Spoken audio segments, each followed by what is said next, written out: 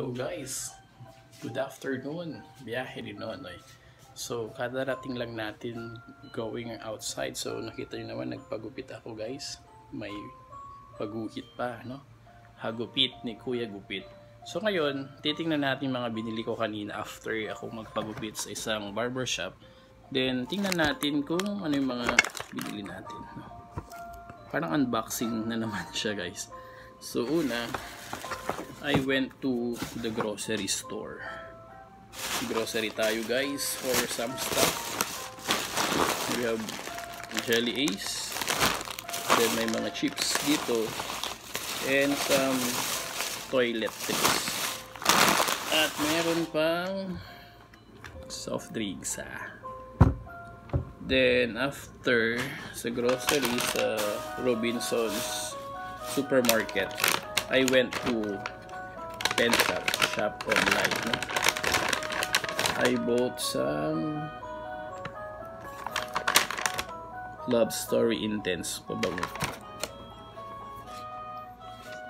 Bango naman siya guys. Then, I went to Pandayan Bookstore.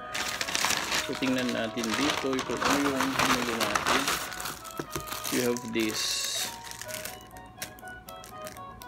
uh, star. Kasi lalagay ko yung star sa bahay sa Christmas tree. Then I bought some index card also nakakailanganin. And even this eraser no? also bumili ako ng red ball pen to highlight. And even yung whiteboard marker. And bumili rin ako ng whiteboard no? kasi I'll be going to write here yung mga schedule ko especially this December. Daming schedule guys. And also bumili bumili rin tayo ng casing ng cellphone. Kasi matagal na to no? S7 Edge obsolete na. Pero tibay naman pa 5 years na tong phone ko na to. And most of all I bought tripod. Gagamitin natin for our vlog.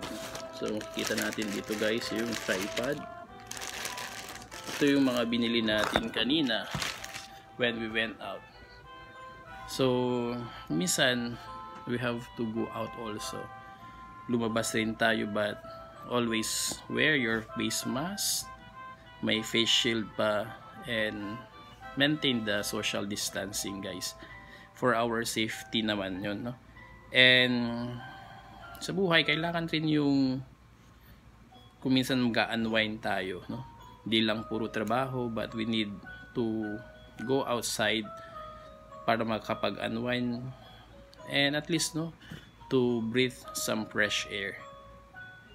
At hindi tayo mabore hindi tayo magka-problema especially anxiety. We have to chill out kung minsan. And also guys no if you are new in my channel don't forget to share to like to subscribe and ring the bell ring button no? so guys paalam